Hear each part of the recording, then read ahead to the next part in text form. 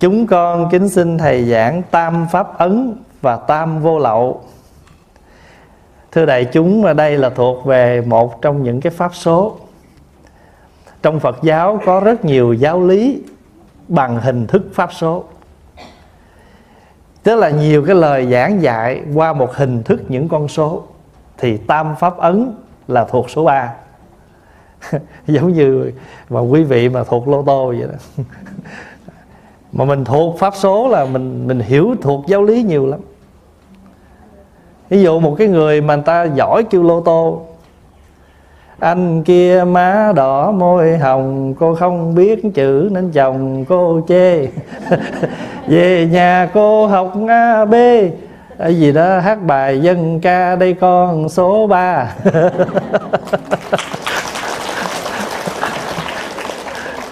đại thiên đại thánh đánh với hồng hài rồi kêu vậy là kêu số.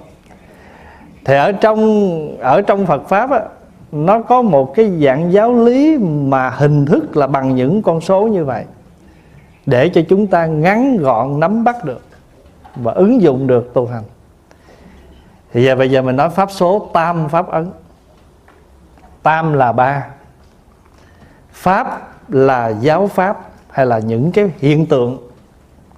Ấn là gì? Ấn là cái mọc con dấu. Mỗi khi chúng ta ở trên thế gian này, khi mà chúng ta có giấy tờ gì mà để xác định cái vấn đề, cần phải có cái dấu, cái mọc đóng vô.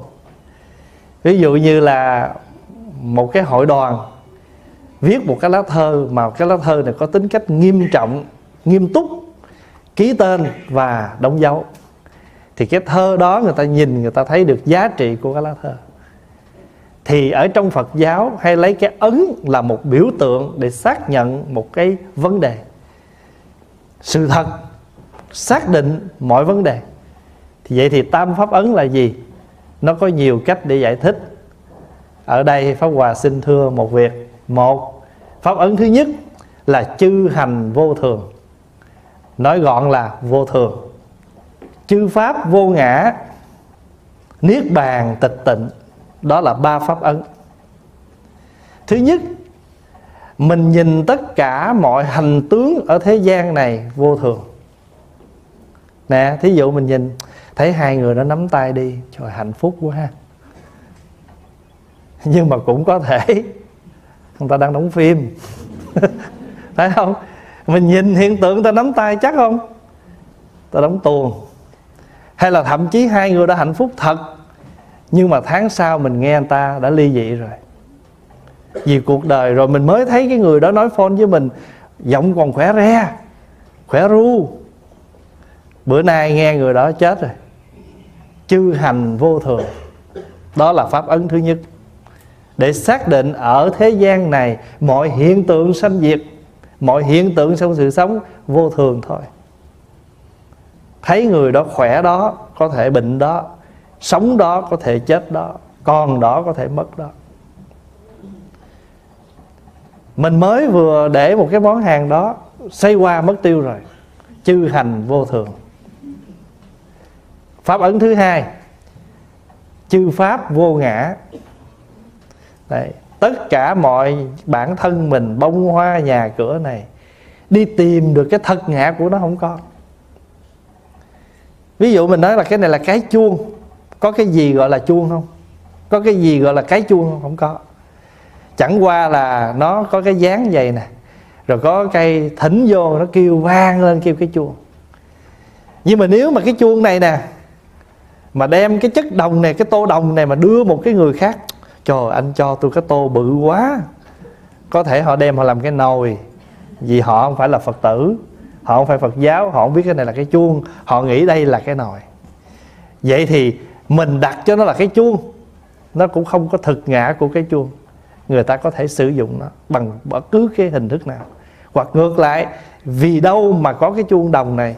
Vì có đồng có lửa nung rồi gò nó rồi, rồi rồi làm như thế nào đó để nó phát ra cái tiếng gọi là chuông. Còn đi chỉ cái này cái này đồng tìm cái này. Cái này màu đen, cái này khắc hình, không có cái thật ngã gọi là chuông. Chẳng qua là những cái tạm tạm gì chúng ta ráp lại để gọi là cái chuông thôi. Và người thấy được như vậy, không có chấp. Người thấy được các pháp lô ô ngã thì không có chấp. Ví dụ giờ tôi nói, cái này là cái chuông mà nhưng mà có thể cái chuông này bây giờ nó lủng, nó bể ta không xài được nữa bằng cái chuông. Người ta có thể đổ tro vô, người ta làm cái lư hương cũng đẹp như thường. Mua cái đế gỗ về để thành cái lư hương liền. Cho nên cái này, mình nói là cái chuông, nó có thể chuyển hương chư hành vô thường, chư pháp vô ngã. Rồi pháp ấn thứ ba là gì? Niết bàn tịch tịnh. Niết bàn là gì? Là khi trạng thái tâm của mình bình an. Đó là niết bàn. Chứ niết bàn không phải là cái destination, không phải là cái chốn để tới. Cho bây giờ mình ghi trên mấy cái câu cáo phó, cầu chúc cho hương linh bác sớm về cõi niết bàn. Đó là mình nói thôi, chứ không có cái cõi nào ở đông tây nam bắc gì được gọi là niết bàn hết. Và đại chúng nhớ là niết bàn là gì? Khi tâm không còn tham là niết bàn. Khi tâm không còn sân là niết bàn. Khi tâm không còn si là niết bàn, không còn nghi là niết bàn. Vậy thì niết bàn là trạng thái của tâm khi bình an hay là khi tâm vắng mặt hết tất cả khổ, đau, phiền muộn? Cái đó gọi là niết bàn. Và niết bàn là chỗ vắng lặng tuyệt đối, tịch tỉnh. Niết bàn là tịch tỉnh mà ngược lại niết niết bàn là gì là sanh tử, trần lao Chứ ví dụ ở trong sanh tử, trần lao này mà tâm mình vẫn thấy sự sanh tử đến đi bình thường, thì lúc đó tâm mình có niết bàn. Cho nên niết bàn là trạng thái của tâm. Người Trung Hoa dịch là diệt độ. Chữ niết bàn dịch, được dịch là diệt độ. Diệt cái gì? Diệt cái phiền não độ cái sanh tử. Mà tiếng Phạn là nirvana mà mình âm là niết bàn. Mà chữ nơ nghĩa là không, là no Vana là gì? Là những cái gì negative. Khi nào trong tâm mình không còn không, In the mind, Khi nó không còn cái negative, Lúc đó là nirvana. No negative. Chữ Niết Bàn được dịch là no negative. Khi tâm mình không còn những cái phiền muộn khổ đau nữa Thì là Niết Bàn. Đó là tam pháp ấn Nghĩa là ba cái ấn chứng. Ví dụ như giảng pháp giảng về à, vô thường thì trong vô thường đó vẫn có tam pháp ấn. Là gì? Đấy cái hoa này là nó vô thường nè nó tươi vậy nè mai mốt nó héo nè chư hành vô thường đi tìm cái thực ngã của hoa không có, gọi là chư pháp vô ngã. Và khi nào tâm mình nhìn thấy vậy cho nên nó héo, nó còn tươi vậy thì mình trang trí, mình enjoy. Đến lúc nào nó héo, mình chấp nhận, mình đưa nó vô thùng recycle để nó thành ra compost, nuôi dưỡng những hoa cỏ, cây cối khác. Tâm không buồn, không khổ gì hết. Là niết bàn. Niết bàn tịch tỉnh vậy quý vị hiểu được tam pháp ấn ha. Mà người nắm pháp tam pháp ấn vậy cái thì trong cuộc sống này mọi hiện tượng nó xảy ra, nhìn biết hết. Trời ơi, sao kỳ vậy? Tôi mới thấy nó khỏe đây mà sao giờ chết? Chư hành vô thường. Cho nên mình thấy tất cả mọi hiện tượng. Đó là pháp hòa nói về pháp số thứ ba rồi trong này có cái pháp xứ thứ ba nữa là gì? Là tam vô lậu. Thêm thêm đúng là thường phải thêm chữ tam vô lậu học. Thế nào gọi là vô lậu? Chữ lậu nghĩa là gì? Chữ lậu nghĩa là nó rỉ ra. Ví dụ như cái chuông, cái cái tô, cái xô, cái ly gì đó, nó bị lủng. Mình đổ ly nước đầy lên để trên bàn lát sao tự nhiên ở đâu có một vũng nước? Mình không thấy một cái lỗ to, nhưng mà mình biết vậy là cái ly này, cái tô này nó bị một cái chỗ nào đó nó rỉ nước ra, thì cái chỗ rỉ đó gọi là lậu. Mình tu như thế nào để mà không còn những cái những cái rò rỉ đó nó ra nữa? Mà cái rỉ đó là trong phật giáo tượng trưng cho những phiền não vi tế. Phiền não nó hai loại là thô với vi tế. Ví dụ như à, mình giận hiện lên mặt đó là thô rồi. Để hôm nay nè. Chị có giận gì? Không tôi mắc gì giận? Không tôi không có giận. Nhưng mà hỏi à, chị đi với em không? Tôi, tôi mệt lắm tôi không đi. không có hiện ra tướng. Nhưng mà cái hình thức đó là rỉ đó. Nó đang rỉ rả trong lòng mình á. Thì trong Phật giáo cái gì mà nó vi tế, mà nó nó tinh tường nó rỉ từng chút cho là lậu. Vậy thì có ba món để làm cho mình không còn những cái rỉ đó nữa. Đó là giới, định, tuệ. Có khi gọi là niệm định tuệ nhưng mà thường quý vị sẽ nghe là giới định tuệ. Giới là gì? Là những cái điều mà chúng ta thọ học như là năm giới, mười giới, những cái luật giới. Mà người có giữ luật giới thì tâm định tĩnh, mà tâm định tĩnh thì tuệ nó sinh. Đó là chúng ta nói theo công thức giới định tuệ. Nhưng mà thực ra, không nhất thiết phải là giới định tuệ. Mình nói tuệ trước cũng được nữa.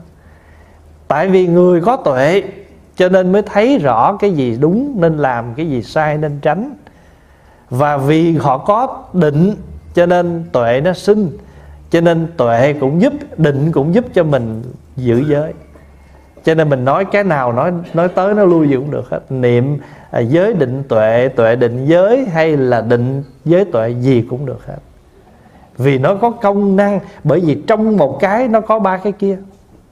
Trong cái giới nó có định có tuệ ví dụ như bây giờ giữ giới cần có tuệ không? Cần không? Giữ giới cần có định không? Ví dụ ông thầy đó ông đi ngang cái bờ suối có cái cô gái đó cũng cổ, cổ trợt chân cổ té. Thì lúc đó là ông thầy ông nhảy tới ông chụp cô gái ông ẩm quan xong. Ông ẩm xong để cô gái xuống đi tỉnh bờ ông sư đệ bực bội thấy một sư huynh mình phá giới. Mới đi theo hồi cái nói, sư huynh, nãy giờ tôi hơi mệt mỏi và tôi bị buồn phiền sư huynh là tại vì sư huynh tu mà không giữ giới. Hỏi vụ gì vậy? Tại sao sư huynh dám ẩm một cô gái qua sông? Thì ông sư huynh ông nói, trời sư đệ, tôi để cổ xuống nãy giờ rồi mà để còn giác cổ tới đây. Nếu người mà giữ giới mà thấy người ta chết đuối rồi cái nói huynh huynh giúp không? Nam nữ thọ thọ bất thân. Tôi giữ giới. Giữ giới kiểu đó, đúng không? Không? Người giữ giới phải có định, có tuệ. Trong khi mà người ta chết ở dưới, người ta té như vậy, mình không giúp người ta thì tuệ chỗ nào? Và định chỗ nào? Cho nên ngay cái giữ giới, anh cứ lệnh ẩm coi đó đi. Mà anh không hề phạm giới tại vì trong tâm anh thấy rõ cô này đang là một người gặp nạn. Là một người gặp nạn, anh định tĩnh tâm hồn lại. Trong lúc này không phải nói chuyện giới mà khi mà anh ẩm cô đó lên mà cô không hề có một ý niệm sai quấy gì là đã giữ giới rồi. Cho nên một cái việc, cho nên cái giới luật trong đạo Phật nó khác biệt là không phải chúng ta làm như vậy rồi chúng ta tội lỗi mà chúng ta phải biết rằng vì sao chúng ta làm điều đó. Thí dụ như bây giờ nè mình giữ giới um, không nói dối. Bà bà bà bà, bà năm bà nói bà mới nói lén bà tám. Cái mình là bà tám rưỡi. Mình nghe mình đi tới mình nói cho bà bà bà bà tám nghe. Và nói chị tám tại vì tôi giữ giới chị biết không? Tôi giữ giới thứ tư chứ không nói dối á thành nữa nãy bà năm bà nói gì, giờ tôi phải nói lại cho chị nghe. Mình nói xong rồi bà năm với bà tám bà gây lộ. Lôi tắm rưỡi ra. Bây giờ bây giờ mình tới bà tám chơi. Bà tám bà hỏi, bà năm bà có nói gì tôi không? Dạ không. Chữ không đó phạm giới không? Giống như phạm gì? Nó, người ta nó có nói mà sao nó không? Nhưng mà tôi có định, tôi có tuệ. Tôi có tuệ là tôi biết rằng lời nói tôi nói ra có lợi cho ai không? Và tôi đủ định tĩnh, tôi trả lời không, dứt khoát. Cái bà kia bà hù, bà đừng có nói dốc tôi nghe bà nói dốc tôi, bà chết với tôi dạ dạ dạ thôi, em dám em nói thiệt. Không đủ định tĩnh, người ta cũng hù dọa mình được như thường. Mà cái người đủ định tĩnh, đủ tuệ giác rồi, dư là phạm giới mà thật tình là giữ giới. Đó. Cái cách giữ giới của nhà phật nó hay như vậy đó mà cái người mà nắm được cái cách giữ giới, cái cách tu hành trì giới rồi mà giữ giới mà không hề khổ đau, không thấy gò bó gì hết, là vì người này có định, có tuệ để nhận biết mình đang làm gì và phải làm gì. Cho nên trong giới định tuệ, vì vậy mà thắp ba cái nhang. Ba cây nhang mà chúng ta thắp đó là cây nhang cho giới, cây nhang cho định, cây nhang cho tuệ và chúng ta sẽ thấy rằng trong một nó có ba, hai cái kia, trong định nó có tuệ, có giới, cho nên thấp một cây đã đủ. Không nhất thiết là ba cây. Ba là tượng trưng cho giới định tuệ, mà một cây là tượng trưng cho một mà tất cả. Tất cả là một. Thậm chí bây giờ mình, người ta thắp nhang rồi, mình đứng sau mình gửi lòng theo đám mây đó, vẫn có giới định tuệ như thường. Vì tôi nhận định rằng đốt nhang nhiều, khói nhiều chứ có gì đâu. Mà khói càng nhiều, phật càng cay mắt. Mà mình có khấn phật phật không thấy rõ mình nữa. Không? thành thử ra đốt ít thôi mà vậy mà phật còn thấy rõ. À diệu bông mới tới. Diệu xoài mới tới. Mà thắp nhang nhiều quá mà khấn ở dưới, in nổi người câu tiếng mà phật khí hí, rồi khói quá, thấy không rõ mà nhiều khi mình đẹp lộng lẫy mà bữa nay nó sao bông bữa nay héo rồi con. Cho nên là quý vị thấy được cái giới định tuệ và muốn nói không? Mà quý vị cứ xuyên suốt, quý vị cứ học cái cách gọi là trong một có tất cả, trong tất cả có một là nó ứng dụng hết trong tất cả giáo lý. Trong mình có sơn hà vũ trụ, đồng ý không? Đấy nếu mà không có mây mưa, làm gì có mình? Bởi vì mây mưa nó tạo ra nước. Trong người mình, ví dụ như mình nói, trong tôi có mây, trong tôi có nắng, trong tôi có đậu nành, trong tôi có đậu hũ. Vậy thì trong một cái thân thể này có cả sơn hà vũ trụ. Rồi vũ trụ sơn hà nó có trong ta ta có trong sơn hà vũ trụ và khi chúng ta thấy được như vậy rồi thì chúng ta thấy rằng chúng ta phải có bổn phận sống bằng định, bằng tuệ, bằng giới để bảo hộ môi sinh, bảo hộ môi trường. Cho nên người mà được vậy rồi giữ giới không có khổ, giữ giới không gò bó. Và không hề sợ quy y. Nó thôi, tôi chưa được đâu. Tôi còn nóng nảy lắm. Đợi khi nào tôi nguội rồi tôi mới quy y nóng nảy phải lo, quy y, tu, nó mới bớt. Chứ còn nóng mà để trong lò hoài sao nó hết? Thôi tôi còn à, tôi còn à, sân si lắm. Anh sân si, anh phải tu để sân si nó giảm. Và bước đầu tu là anh thọ giới. Anh thọ giới đây chi? Anh phát nguyện. Con phát nguyện, con giữ cái này nè. Con phát nguyện giữ cái này nè. Nhờ có phát nguyện cho nên mới cố gắng làm. Người không phát nguyện sao làm? Ví dụ chiều nay pháp hòa nói à, mời đại chúng à, đi ăn cơm lúc 4 giờ. Tôi không hứa à, khi nào thấy thì biết. Nói như vậy là chắc mình không đi 90 phần trăm rồi đó. Tại vì sao? Vì không hứa là không bao giờ nhớ. Còn người hứa rồi là để tâm, ghi lịch, chiều nay 4 giờ đi ăn.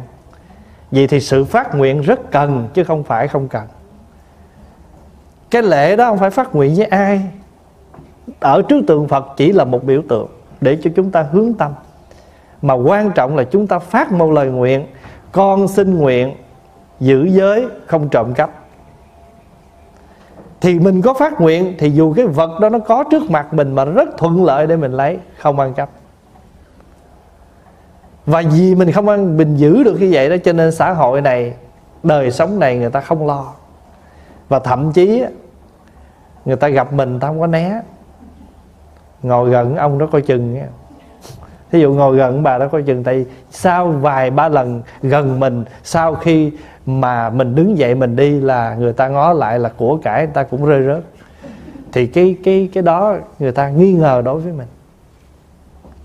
Cho nên mình bị cái cái cái khó khăn nào thì chúng ta nhận cái đó, chúng ta tu tập.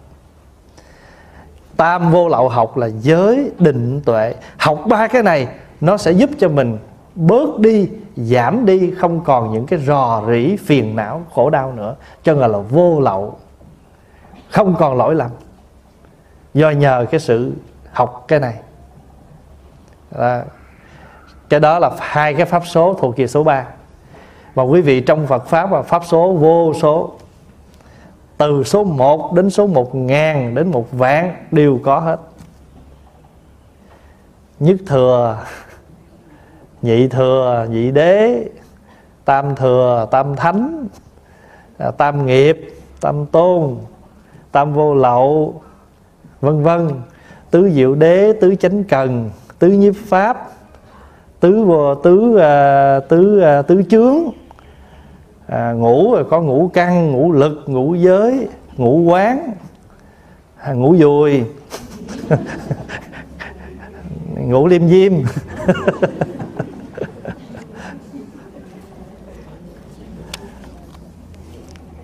rồi câu hỏi kế.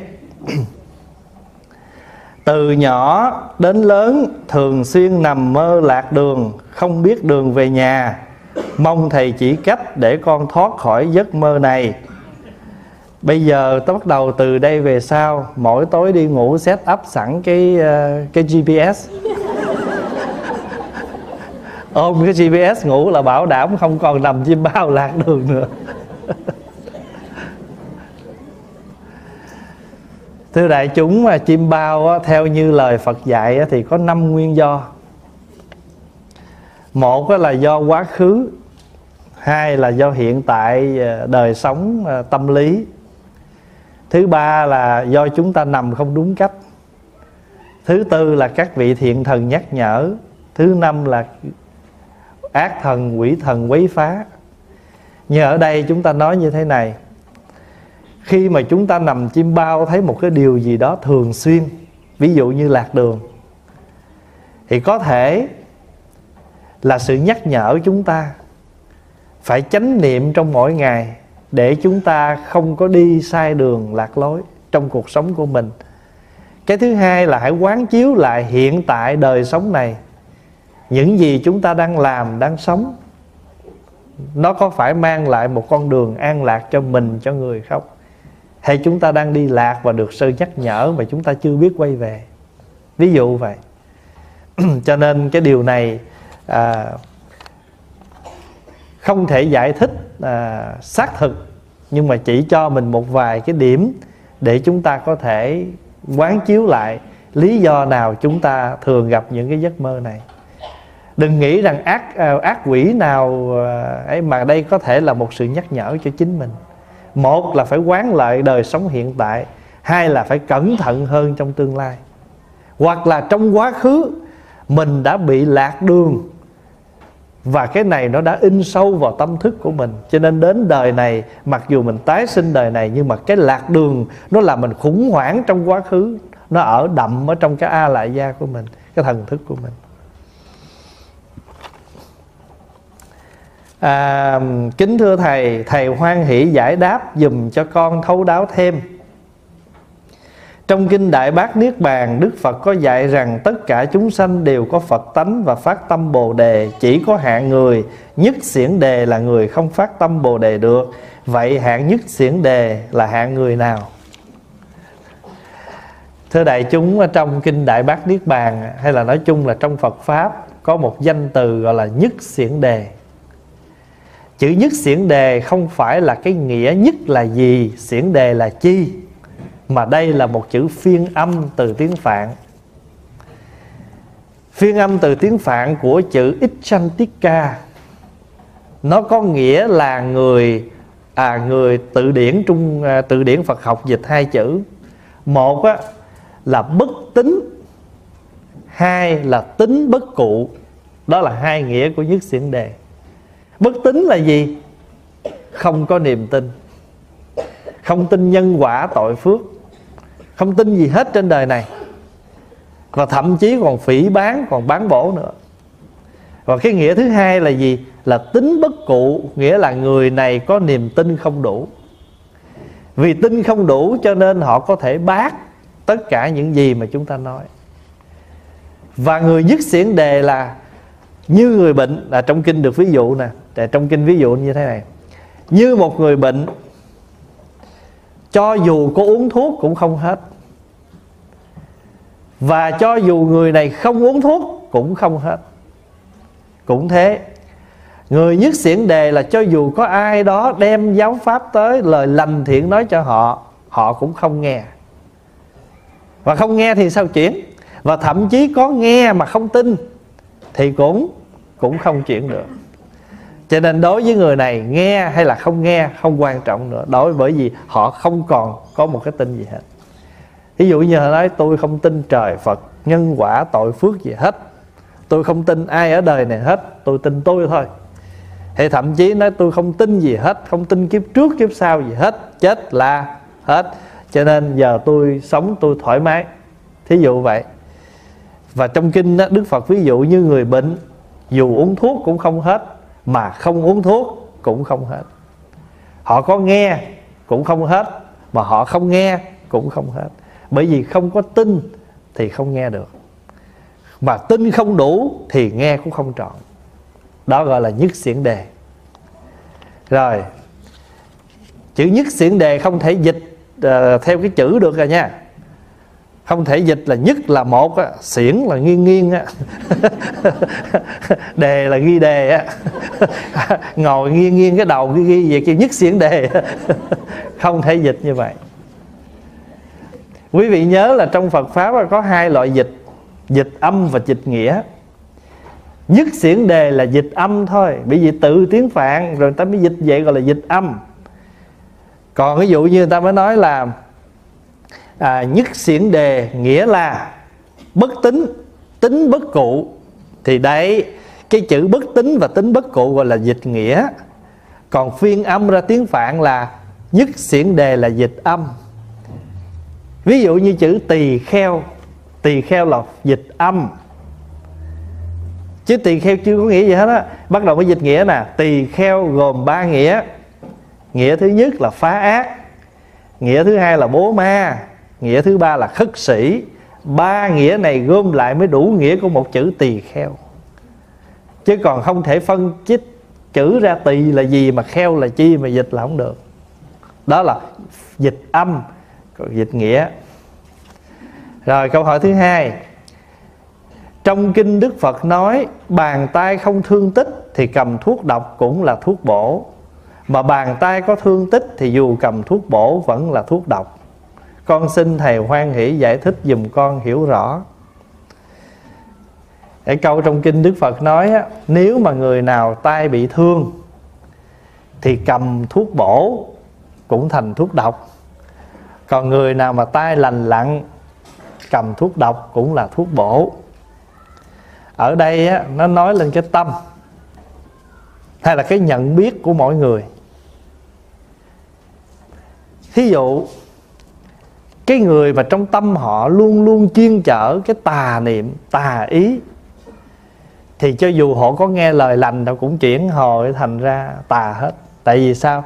Tại vì cái người mà tâm tà thì pháp chánh nó lọt vô trong tâm họ, nó họ cũng biến ra thành pháp tà. Và cái người mà tâm tâm chánh á, đưa cái đồ tà vô cho tay họ họ cũng biến nó thành tâm chánh. Bây giờ pháp hòa ví dụ vậy nè một vị thầy tu hay một người, nói chung là một người có tâm hướng thượng cho người khác đi. Ta cầm cái quẻ ra, ta nói, tôi đi xin xăm. Mà cái xăm này nói, xấu quá, xin thầy giúp cho tôi. Thật sự ra trong Phật pháp không có hề xin xăm à. Xin xăm không phải của Phật giáo. Nhưng mà giờ mình mình tin đó, mình xin xăm. Cầm lên nhờ ông thầy. Mà nếu ông thầy mà ông biết hướng dẫn mình tu á, từ cái xăm thì xấu này nè ông hướng dẫn mình, ông nương vô cái xăm xấu. Ông nương vô xăm xấu mà ông hướng dẫn cho mình tu. À xăm này xăm hạ hạ nha. Và thường thường hạ hạ là cẩn thận lời ăn tiếng nói nha. Đó, cái xăm này nó xấu lắm.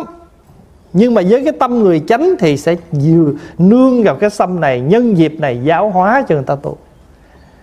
Còn nếu mà cái người mà không được rồi sao với ông xăm này hạ lắm á. Một tháng phải ghé thầy ba lần nha và mỗi lần là phải mua cái này mua cái kia cúng nha.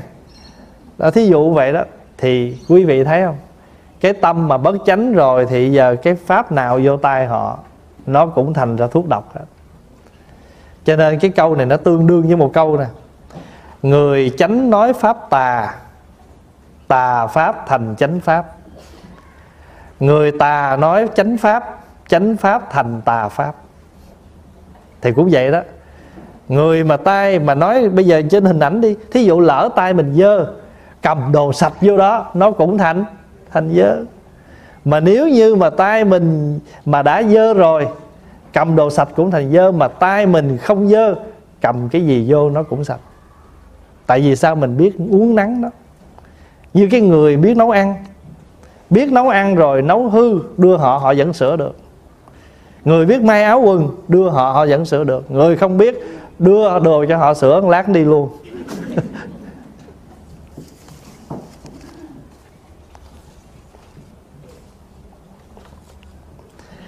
Kính thưa bạch thầy, thầy có thể giải thích cho chúng con rõ tà niệm trong Phật giáo gồm những gì không?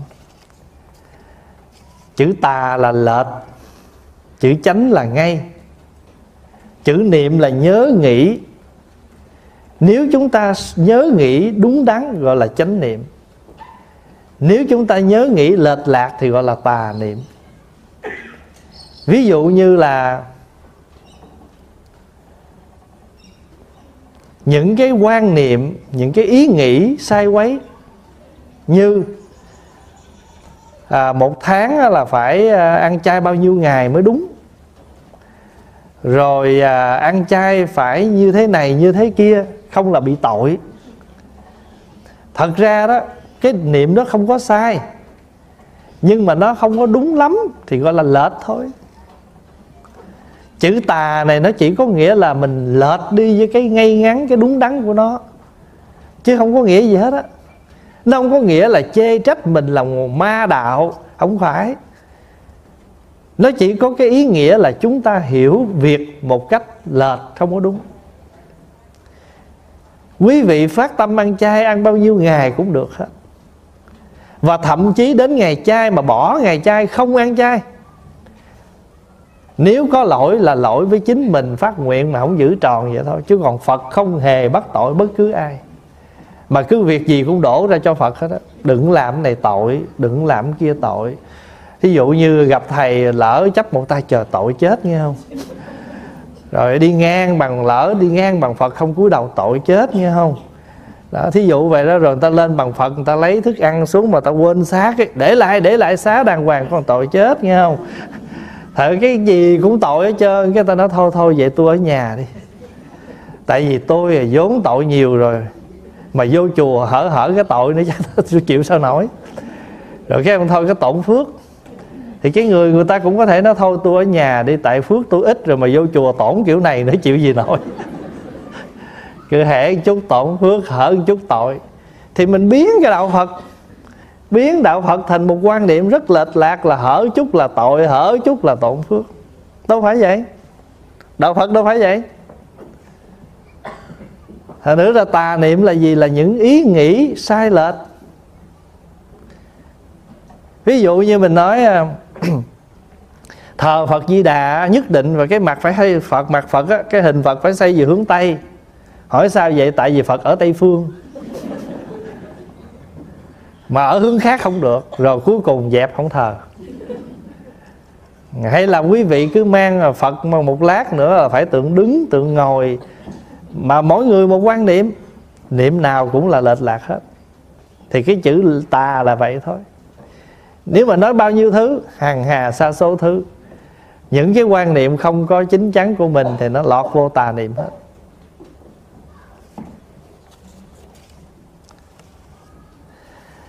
À, con nghe à, à, con nghe đến bốn câu thơ. Mù tỏ lô sơn sống triết giang à, chưa khi chưa đến được luống mơ màng. Đến rồi về lại không gì khác mù tỏ lô sơn sống triết giang. Bốn câu thơ này có ý nói gì? Câu đầu và câu cuối có ý nói như thị y như thị không? Thưa đại chúng đây là một bài thơ thất ngôn tứ tuyệt của ông tô đông pha. Ông làm cái bài thơ này để diễn đến một cái tâm tâm cảnh của cái người mà đã thống, thấu được cái chân thật, chân như của mọi pháp. Thì cái câu đầu của bài thơ là mù tỏa lô sơn, sống triết giang ở bên trung hoa đó nó có một cái địa danh tên là núi lô gọi là lô sơn. Thì người ta đồn rằng sương mù mà nó tỏa ở trên núi lô này đẹp cực kỳ. Và sống ở cái dòng sông triết á, nó cũng đẹp và nó hùng dũng cực kỳ. Đời người mà không đến thấy được hai cái điều đó không thấy được sương mù núi lô và không thấy được sống ở sông triết thì chết không cam tâm nhưng mà ông đến đó rồi thì ông thấy rằng, ủa, cũng tôi tôi tôi tôi đâu có thấy cái gì khác đâu. Thì cũng là sương mù, cũng là sóng vỗ thôi. Cho nên ông về ông làm bài thơ vậy đó. Bài thơ có tên là lô sơn chân diện mục. Nghĩa là mặt mũi chân thật của núi lô. Lô sơn yên tỏa triết giang triều vị đáo bình sinh hận bất tiêu. Đáo đắc hoàng lai vô biệt sự. Lô sơn yên tỏa triết giang triều. Đó là nguyên văn chữ hán. Và bài này được dịch đó, mù tỏa lô sơn sống triết giang khi chưa đến đó luống mơ màng. Có chỗ dịch là khi đi chưa đến hận vô vàng tại vì dịch sát với cái ý, vị đáo bình sinh hận bất tiêu. Bình sinh là cái cuộc sống này mà vị đáo là chưa đến thì hận không tiêu được. Vị đáo bình sinh hận bất tiêu thì dịch sát cái câu đó là khi đi đến, khi đi chưa đến hận vô vàng. Còn dịch thoát là khi đi chưa, khi chưa đến được, luống mơ màng, tức là mơ mơ màng màng, biết nó ra làm sao? Thôi điên lần cho biết không? Đến rồi cũng thấy đâu gì khác. Thì cũng là gì?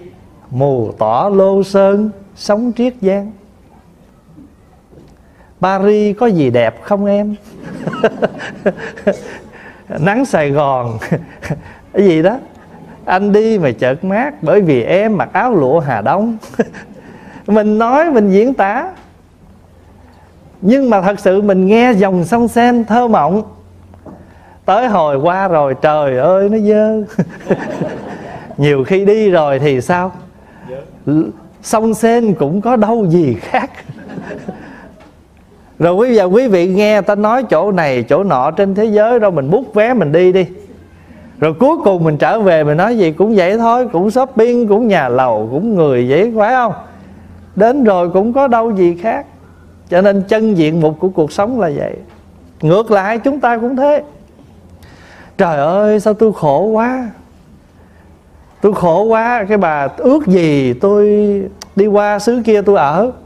Cái bà kế bên mà nó, ủa, chị chị ở đâu tới giờ tôi ở đây? Hỏi chị ở đâu giờ tôi ở chỗ chị muốn tới. Khổ giống nhau. Hai cái ông đó, cái ông đó ông đi vượt biên tới hồi mà ông đi tới cái đảo rồi, cái ông ông rút ra trong cái lưng quần, ông còn được học sàn nói, trời ơi, trời, còn có con hồn sao sống đây? Thì cái ông kế bên ông nói, trời ơi, trời, tôi còn quần xà lõn sống ra sao? Một cái viên hột sòn mà vẫn còn rên, thì tôi giờ tôi còn quần xà lõn, tôi sống làm sao? Cho nên, thưa đại chúng, là nếu mà đã còn con người thì ở bất cứ chỗ nào con con người là còn tham sân si. Mễ còn con người là còn tham, còn sân, còn si thì còn khổ đau giống nhau. Đẹp có cái khổ của đẹp, xấu có khổ của xấu, cao có khổ của cao, lùn có khổ của lùn.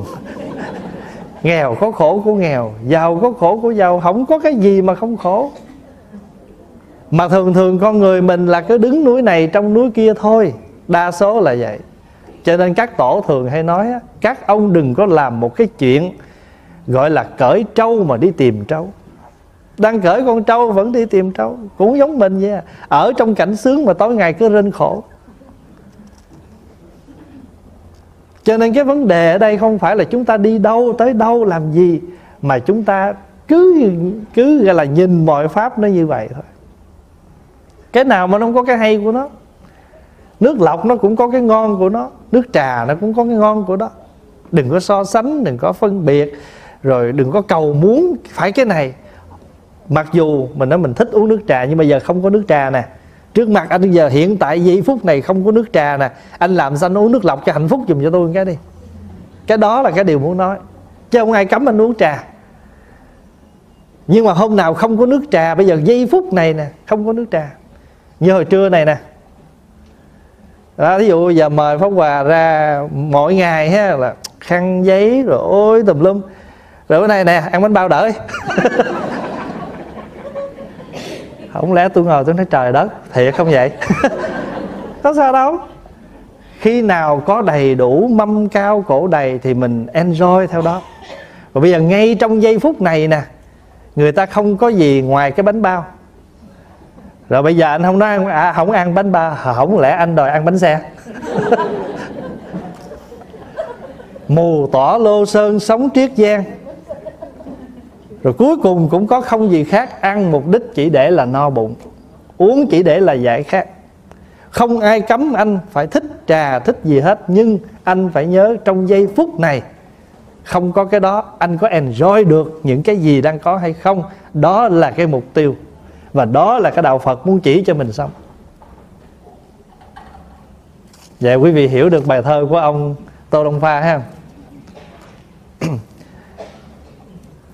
Giờ bây giờ hồi nãy quý vị mỗi người được hộp mì. Trời ơi, sao khô rang vậy? Bây giờ quán lại nè, bây giờ thí dụ hộp mì này mà lỡ người ta xào sớm quá rồi trong khi còn nóng, ta đậy nắp rồi ta trồng bốn năm trăm trăm hộp lên mở ra hộp nào cũng thiêu hết trơn. Rồi đó bây giờ giữa cái mì khô này với cái hộp mì thiêu đem dục rác đó muốn thế nào? À, cái đó gọi là quán đó. Nhà phật hay nói quán đó. Cho nên quán được như vậy là hạnh phúc vô biên ăn cái gì cũng ngon ngồi đâu cũng được hết nên nhiều khi mình nói là nhà Phật hay nói quán chiếu quán chiếu là cái gì? Đâu cần phải lên bộ đòn ngồi liêm diêm kêu quán chiếu đâu. Đó. không có cần vậy. Cứ việc mọi thứ mình có trước mặt mình mà bị có nhiều khi pháp hòa nghĩ vậy mà qua ăn ngon nè. Cái hồi mình ở Việt Nam khổ đó, có nhiều bữa cơm không có ăn mà hôm nay có được một chén cơm ngon này rồi thì có gì nữa muốn? Hỏi anh còn muốn gì nữa giờ? Cái người mà, cái người mà mà sống mà tri túc vậy rồi đó, nằm dưới đất vẫn thấy khỏe. Cho ngày xưa ta có câu đó, tri túc giả tuy, tri túc giả tuy ngọa địa thượng du di an lạc, tuy nằm ở dưới đất, người người biết đủ nằm đất vẫn thấy vui bất tri túc giả, người không biết đủ. Thượng thiên đường diệt bất xứng ý, ở trên cõi trời vẫn không vừa ý. Cho cái cái, quý vị nhớ là mình học Phật để làm gì? Phật nghĩa là tỉnh giác. Học Phật nghĩa là học cái tỉnh giác trong từng giây, từng phút của cuộc sống. Và người tỉnh như vậy rồi là không làm phiền ai hết. Không phiền ai hết á còn nếu mà muốn trách mình muốn mình muốn trách mình muốn đặt cái mình để mình một cái gì đó là mình ngày nào cũng có chuyện để trách đó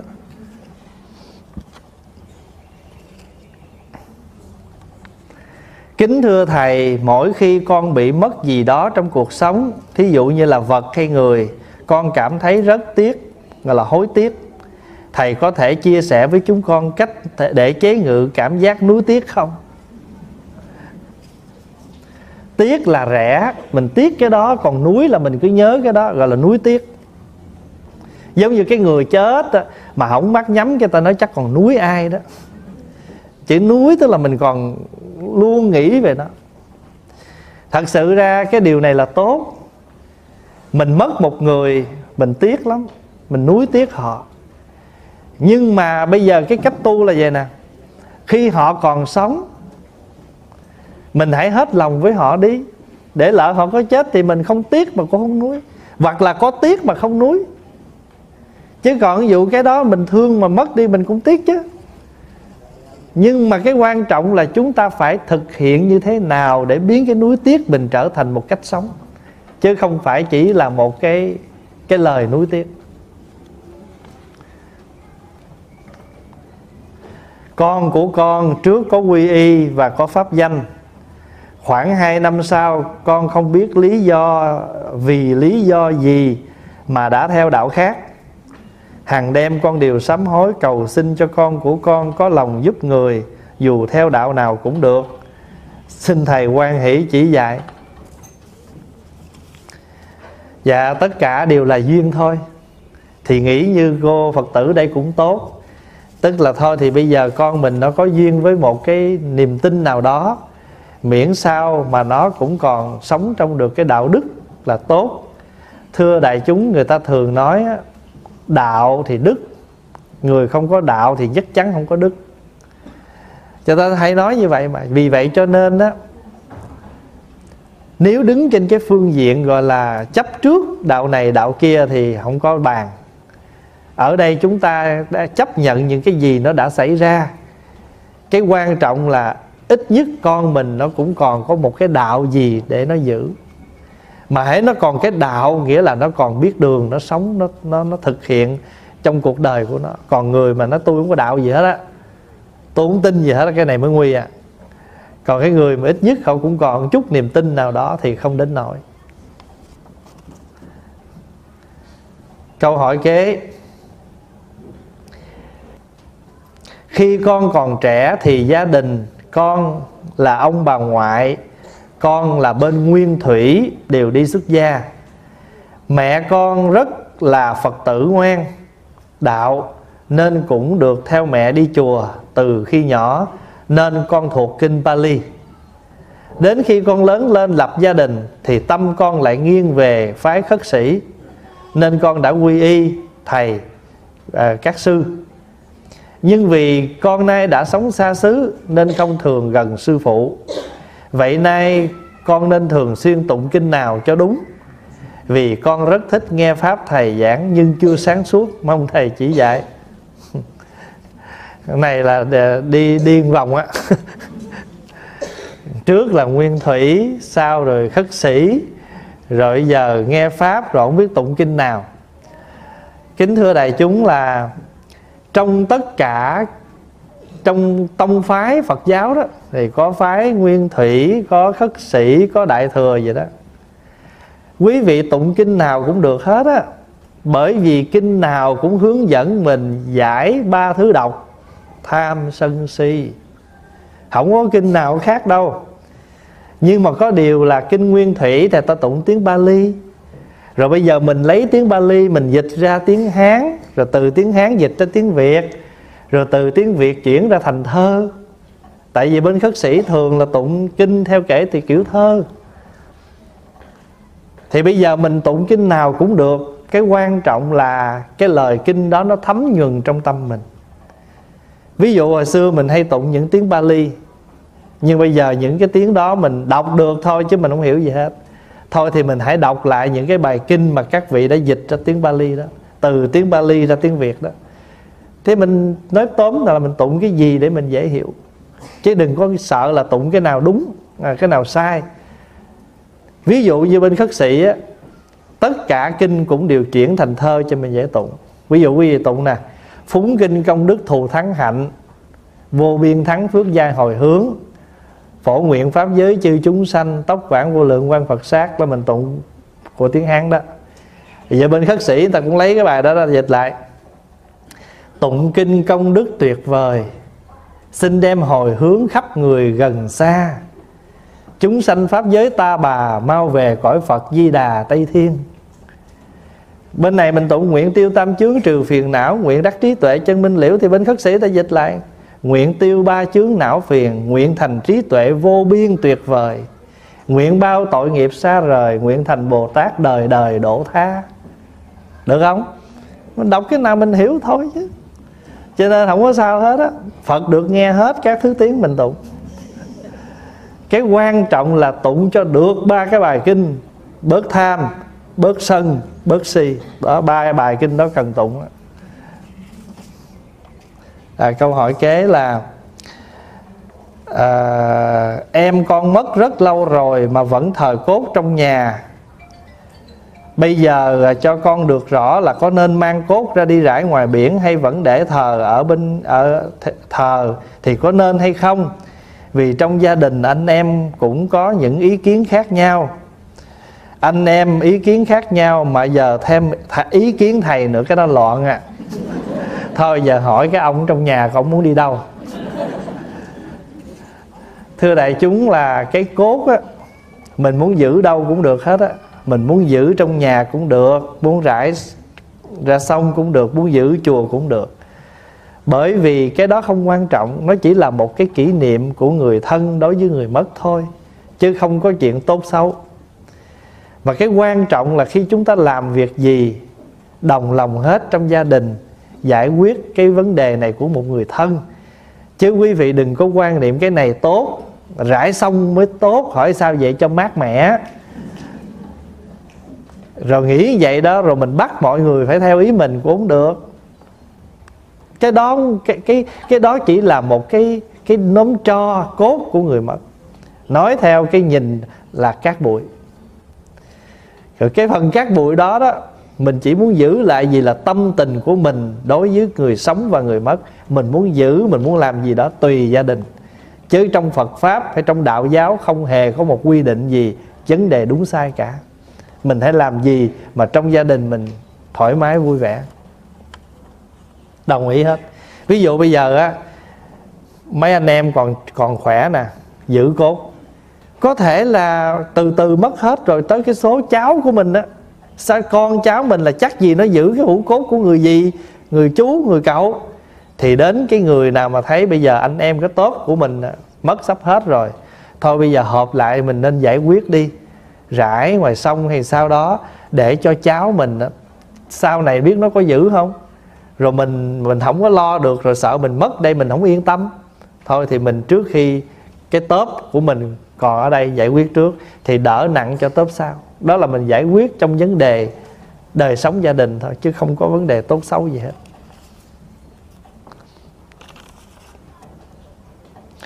Con à, hiện giờ con thường nghe các bài giảng của quý thầy trên youtube nên các băng dĩa quá nhiều. Con có đem về các chùa cũng như biếu tặng bạn đạo nhưng đa số cũng nghe giảng từ youtube nghĩa là bị từ chối đó kính xin thầy dạy cho con, cho chúng con phải làm gì các băng dĩa mà không bị mặc cảm tội lỗi. Kiếm các thầy trả lời các thầy. Cái điều này chắc kỳ này em hốt về dài thùng. Thưa đại chúng, trước khi cái băng dĩa đó nó thành ra cái băng pháp, nó là một cái dĩa cd trống từ nhựa mà người ta biến chế ra mà mình đã mượn cái đó để tạm làm một cái phương tiện chứa pháp để mình nghe pháp. Bây giờ phương tiện youtube đã tràn đủ, cái này chúng ta không cần nữa, chúng ta cứ đem đi recycle. Không hề tội lỗi gì hết. Bởi vì thứ nhất, mình không đem vứt vô thùng rác bằng cái tâm khinh thường. Và mình chỉ muốn giải quyết cái này trong cái phạm vi nào mà giải quyết được. Khả dĩ, một là mình không giữ được hai là cái này vẫn recycle tức là nó sẽ đi nấu lại để nó tiếp tục làm những cái gì khác hữu ích mà chúng ta không bị phung phí là bỏ vô trong những thùng rác.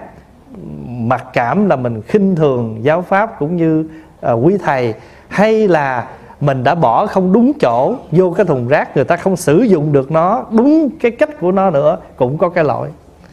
Ví dụ quý vị thấy không? Một cái chai nước mình uống bây giờ ở đây đó. Ở đây có bán được không? Ở bên Canada đó là một chai nước bán được 10 cent nhưng mà khi mình đi mua nước là mình trả tiền rồi. Nhiều khi kết nước có hai đồng bạc à. Mà đi ra là trả ba đồng mấy. Thì trong đó ba, một đồng mấy là tiền recycle cái chai đó. Bây giờ nếu mình đem cái chai đó mình dục thùng rác, cũng có lỗi đó. Thứ nhất là làm ô nhiễm môi trường. Thứ hai là mình phung phí phải không? Thứ ba nữa là mình không để cho nó đúng chỗ của nó. Thành thử ra mình đem cái chai nước thì sao? Rồi có sao đâu.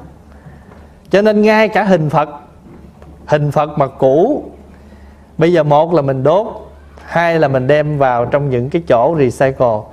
Mình không làm bằng cái tâm bất kính, nhưng mình sẽ đưa cái giấy đó đi về cái chỗ nào mà hữu dụng, còn tái sử dụng được, điều đó không có gì sai là nữ ra nếu mà mình mình hiểu được cái đó thì không có gì trở ngại. Pháp Hòa nói vậy quý vị có có có cảm thông được cái chỗ này ha.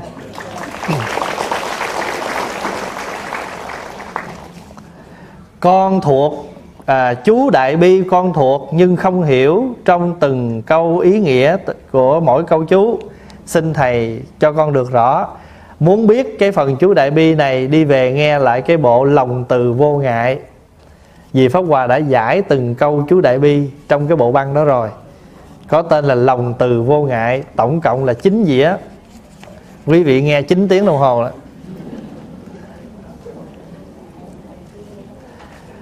con muốn hỏi là các tu sĩ tổ chức chơi hụi tại chùa?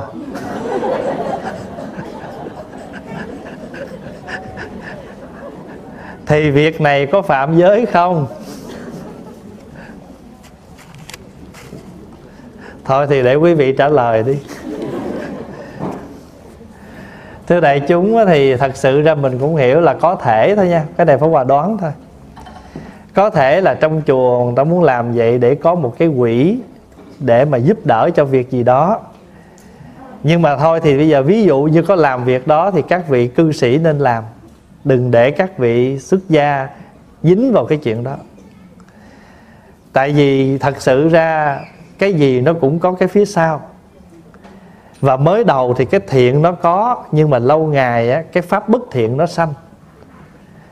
Có thể mới đầu là tâm mình tốt là mình chơi hụi là tại vì mình muốn giúp một cái quỷ nào đó. Nhưng mà bản chất của hụi á là nó có tính toán tiền bạc và tranh chấp cũng như là bị quỵt thành nữ ra mới đầu cái tốt nhưng mà từ cái này nó sẽ lây nó sẽ hướng dẫn mình đi sai lệch cái hướng. Cho nên tốt hết là mình nên tránh. Các vị cư sĩ muốn giúp cho chùa thì các vị muốn làm sao đó là làm. Nhưng mà đừng để các vị xuất gia dính vô.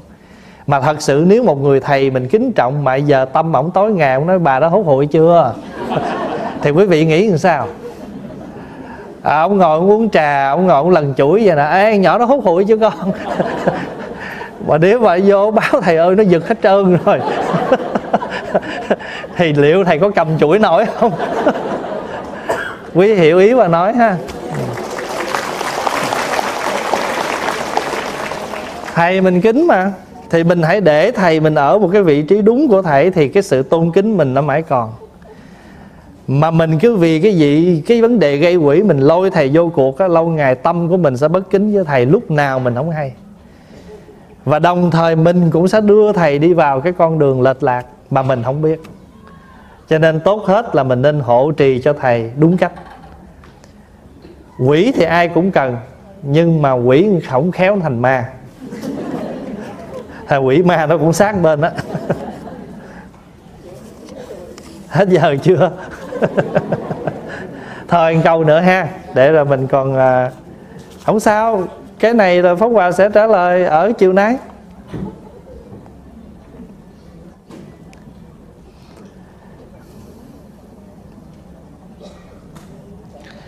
Xin Thầy từ bi giảng giải ý nghĩa câu nói của thiền sư Duy Tính Lúc trước tôi thấy núi sông là núi sông. Sau khi gặp thiện tri thức học hỏi, Tôi thấy núi sông không là núi sông. Bây giờ tôi thấy núi sông là núi sông. Con cung kính thầy giảng. À, Bây giờ mình thêm câu ha. Lúc trước tôi thấy núi sông là núi sông Sau khi gặp thiện trí thức tôi học hỏi Tôi thấy núi sông không là núi sông. Bây giờ tôi thấy núi sông là núi sông. Hỏi xong cái đầu tôi nó cũng lòng vòng.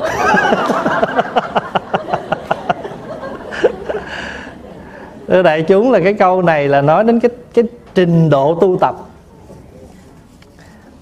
Ngày xưa vua ba tư nạc ông có nói câu này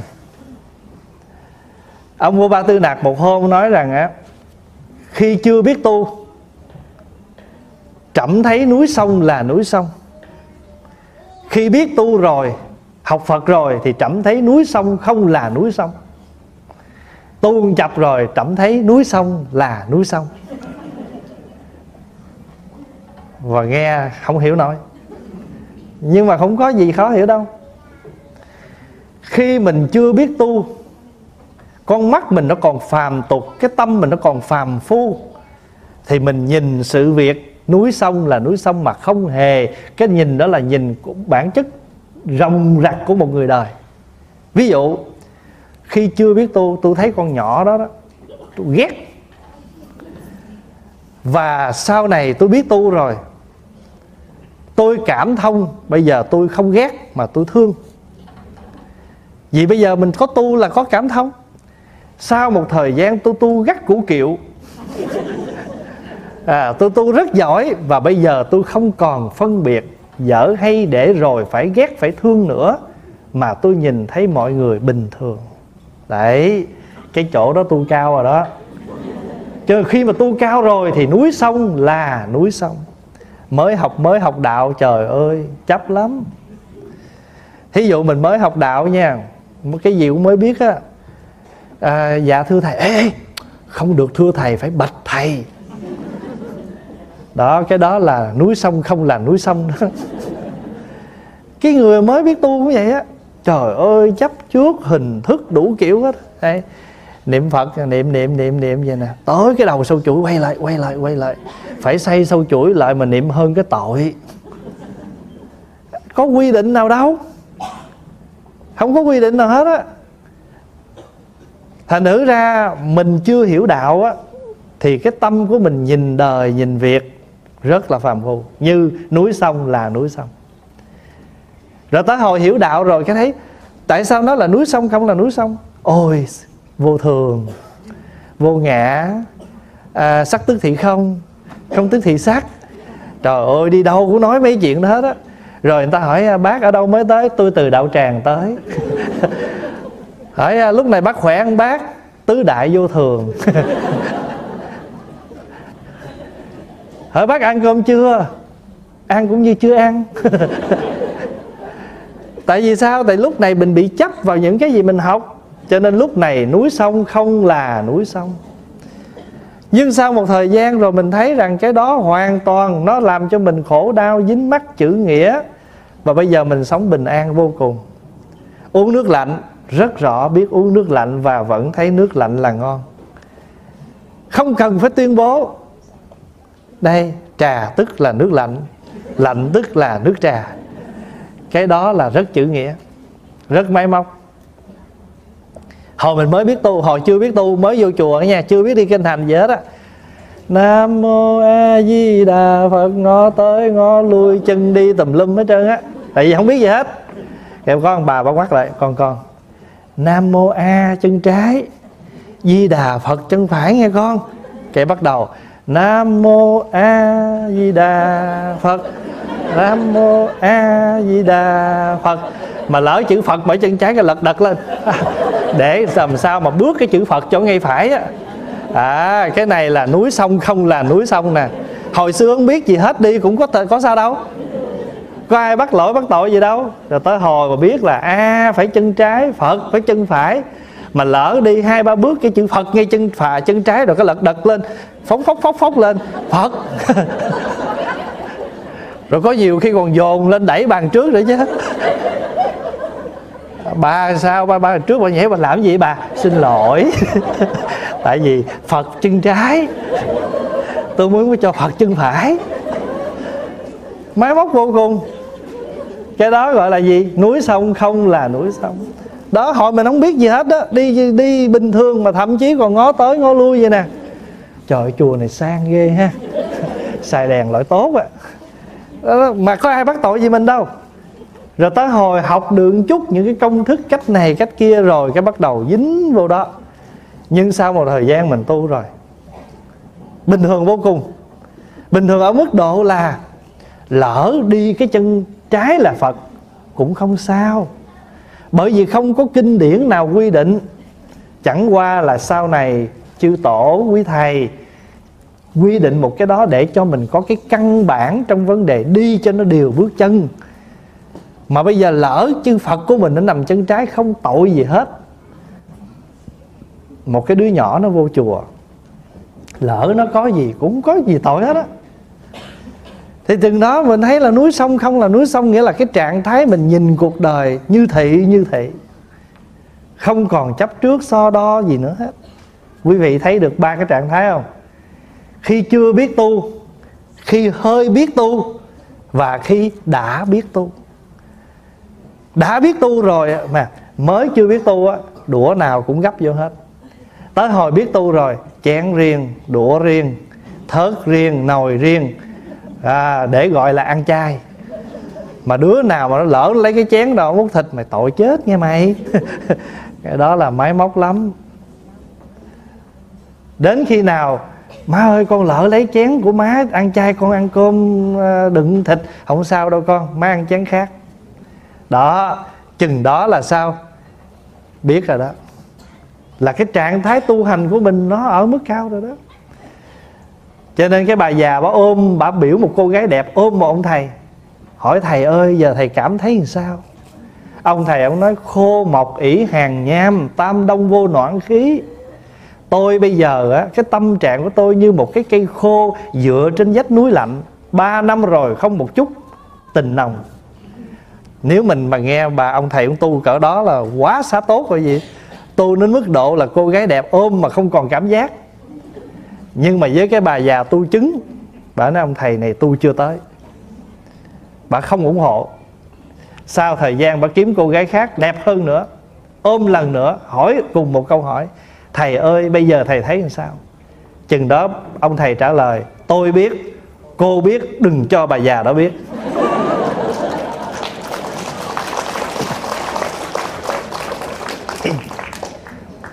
Khi thầy tu mới đầu, thầy còn máy móc lắm thầy còn máy móc là thầy phải lạnh nhạt với người này, thầy phải tỏ nhiệt với người kia.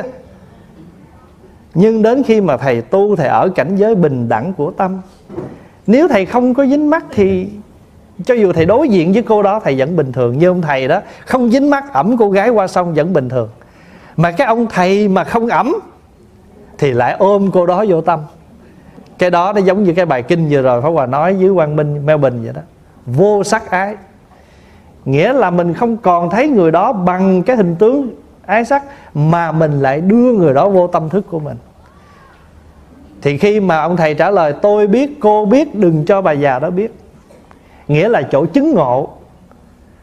Cái người thứ ba làm sao hiểu được tôi với cô có cảm giác gì mà ở đó luận bàn? Thì cái chỗ này, chỗ chứng ngộ của mỗi người cũng thế. Chỗ tu chứng của mọi người cũng thế. Đừng có tới hỏi, thầy tu chứng chưa? Liệu thầy nói thầy chứng mình tin không? Hay mình nói ông thầy này ngạo mạn? Nếu mà người đó tuyên bố là tôi chứng rồi, nói ông thầy này ông ngạo. Nhưng mà nếu mà thầy nói thầy chưa chứng, thì chắc mình có còn phục không? Cho nên chỗ chứng ngộ không thể nói. Nói chẳng nói giống như người uống nước, lạnh nóng tự biết mà không thể giải thích. Ai bảo người tu chẳng biết yêu? Người tu không yêu ít mà yêu nhiều. Cái yêu của người tu không giống như cái yêu của thế gian là có đối tượng, mà cái yêu của người tu là yêu tất cả.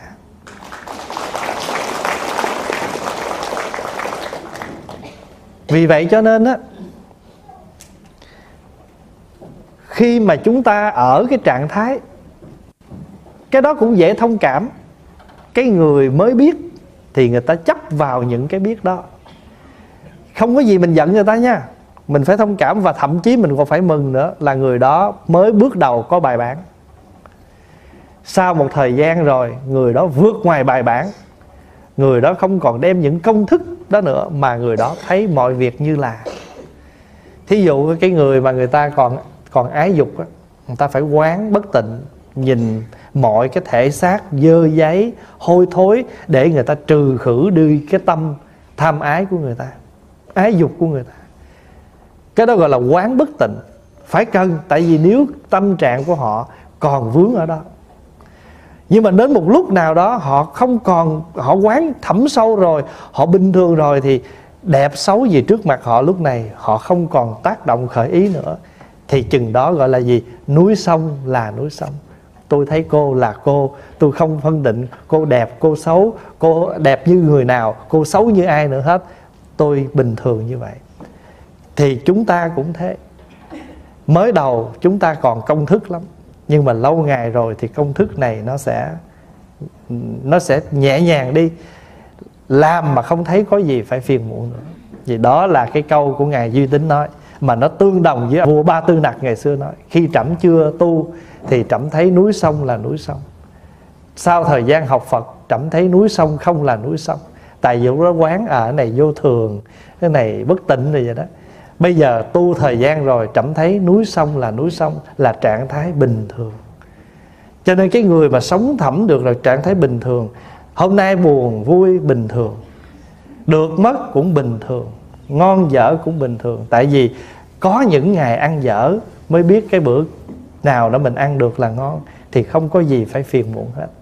Thì mong đại chúng à, qua cái buổi à, à, vấn đáp này và chúng ta giải quyết được một vài câu hỏi và đặc biệt câu cuối là cái câu mà thiền sư à, duy tín cũng như vào vua ba tư nặc đã đã nói lên à, để cho chúng ta thấy rằng cái trạng thái à, tu hành của tất cả chúng ta. Thôi thì mong tất cả mọi người chúng ta ở đây tu đến khi nào mà chúng ta thấy núi sông là núi sông chừng đó là mình thấy tâm mình nhẹ nhàng rồi đó.